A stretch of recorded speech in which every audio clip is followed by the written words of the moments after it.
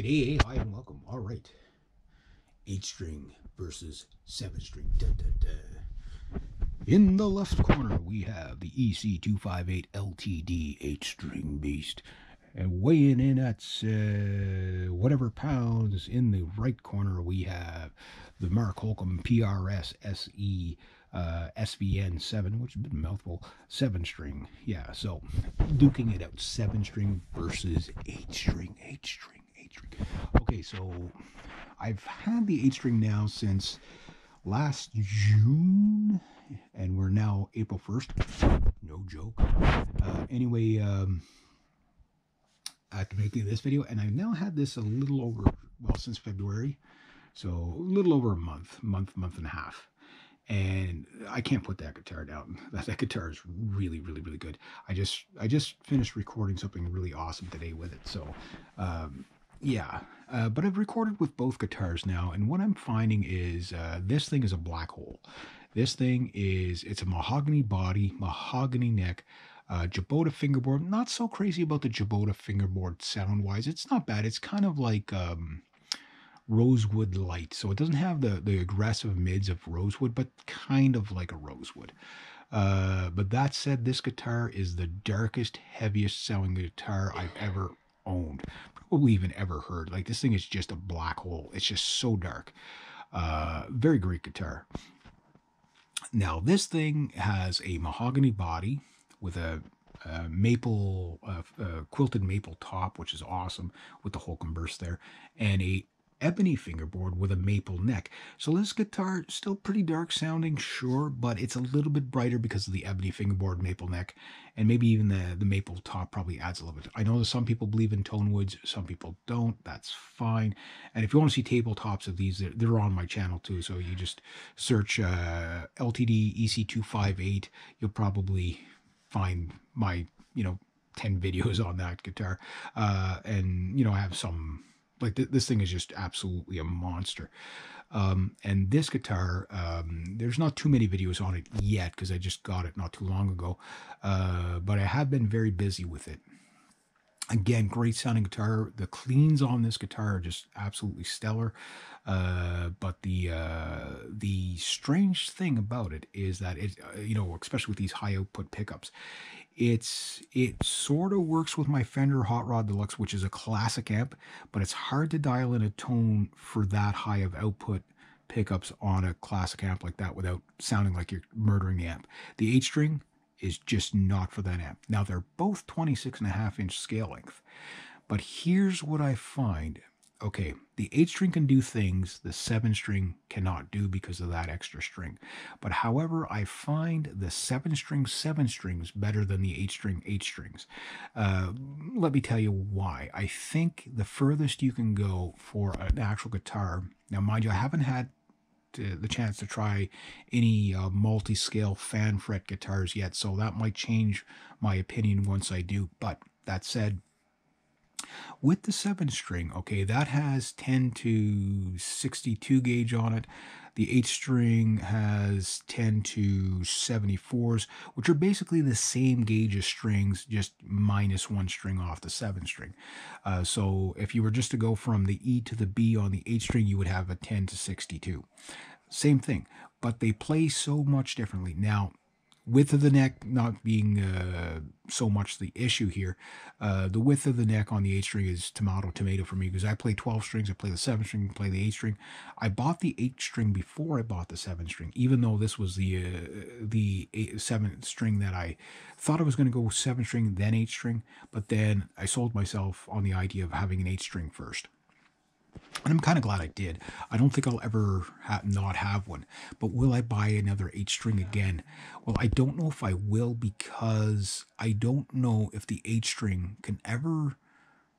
Uh, maybe with the multi scale it, will do it, but uh, here's what I find. Okay, the string tension on the seven string is light on the high E and moderate on the B string, and every string in between is even. So, like your regular six string guitar, whether you're playing, if you got a properly intonated guitar with the right size gauge strings on it, what you find is that the strings are even tension the whole way across. So, it's perfect. Uh, it, it's literally perfect, right? So it doesn't matter. Like that guitar is no harder to play, other than the fact that it's a longer scale length. If I'm playing 10 gauge strings on my other guitars, it's about the same on that as it is on this.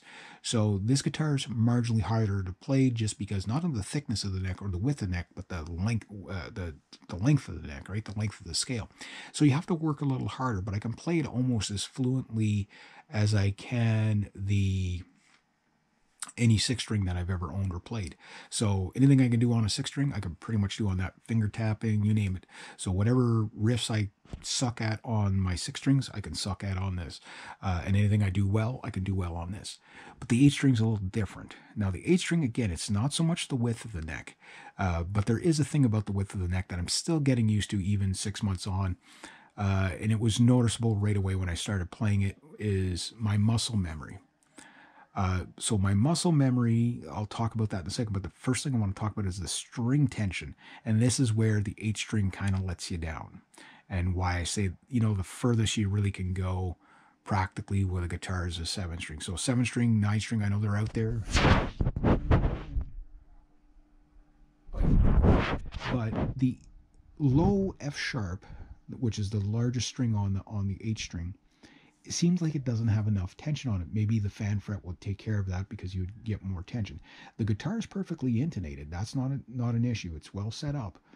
Uh, but the st- string tension on the low F sharp is not quite enough. It's a little bit flubby, so you don't get that note definition like you get on the seven string on the B. Now the B on this is a little bit better uh, than the the low F sharp, but it still doesn't seem like it has enough tension on it. So the B on that guitar which is the second thickest string, eh, is nowhere near as light a tension as the, the B on that string, but that guitar feels like the, the B string is under proper tension. So no matter where you play on the fretboard, you hear that note.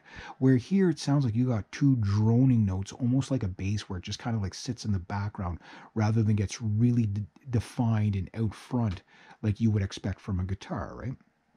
And then as you go your your e string is fine your d string is fine your uh, or a string is fine your d uh, d string is fine but then when you get to the g it seems like the g string has a little more tension on it than on the seventh string and, and the B gets even more tension and then the E string feels like there's too much tension on it. Now it's playable, it's not unreasonable, but it's that much, right? So it, it feels like to get the proper tension on the B and the E. The compromises, you have to have more tension on the the uh, G, B, and E high strings, right?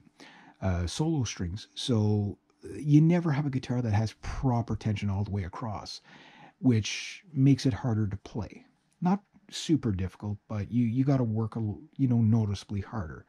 Um, so you can deal with the width of the fingerboard. You can even deal with the scale length but the tension just doesn't seem there. And when you get down to the B and the low F sharp, you can get some definition as you come up the fretboard, but if you're really near the nut, it seems like it sounds like you're playing a bass where you just get like a boom rather than a dong, like an actual defined note. And I think that's the limitation, unfortunately, of the eight string. Otherwise, eight string all the way because, you know, they're just a beast, right? A lot of fun to play. Maybe the fan fret I think would probably solve that issue because a fan fret can go like multi-scale, like 25 and a half to say 26 or 27 inch scale. Like I think that for an eight string, you probably have to have like a 27 or 28 inch scale. But then now the scale length is getting so ridiculous on the low strings that you're no longer playing a guitar, you're playing a bass, right? So that's the catch 22 of the eight string. And that's why I think the seven string is the better way to go. Uh, get a six string bass player and you know ditch the eight string bass and go with a seven string. That that's my opinion. Uh, I know again, the eight strings are a lot of fun to play. They're especially the, the sound you get out of them just shakes the walls. It, it's uh, it's a beast. But yeah, that's my opinion on you know seven string versus eight string, which is better and why. But things to consider, and I think that's why the eight string it's kind of like it's hit popularity but it's never really climbed. It's kind of like seems like it's plateaued where the guys that'll play the eight string never really exceed, where the seven string still seems like more and more people are, are gravitating to them. And that's probably what it is. So I don't think it's so much the width of the um, the fingerboards uh, or even the scale lengths as much as it is the can you get the tension sorted out? Now, I know some people will say, oh, my eight string plays perfectly tensioned all, all the way. Does it really? When you record it in the mix, like, do you have a guitar there or do you just have something droning in the background? That's what I'm talking about. So, unfortunately, no, I can't get the B string. Like, if I'm playing power chords, it's okay. But, like, if I'm trying to get a defined note, I just can't seem to get the articulation and the attack and the clarity out of those notes because they don't seem to have enough tension on the string to get that. Whereas on the seven string, tension's perfect. Uh, and I've noticed this with a few seven strings. Now, I haven't played a lot of eight strings, even though this is a really good one. Uh, I haven't played a lot of eight strings, so I can't really say that all eight strings are like that, but uh, that's probably anything with the same scale length. Um, these two guitars have the same 26 and a half scale length. That's probably what you're going to find. So you tell me what your experience is in. Does the fan fret solve the problem with the tension? And if it does, does the extra scale length of going from 26 and a half, say between 25 and a half on the E, take off some of the tension on the E, and then, you know, with a 27 or 28 inch scale, is it, you know, like, does it make it that much harder to play because now you're getting into bass territory scale length wise? You guys discuss amongst yourself, but that's what I've noticed anyway. So, so it was a great day.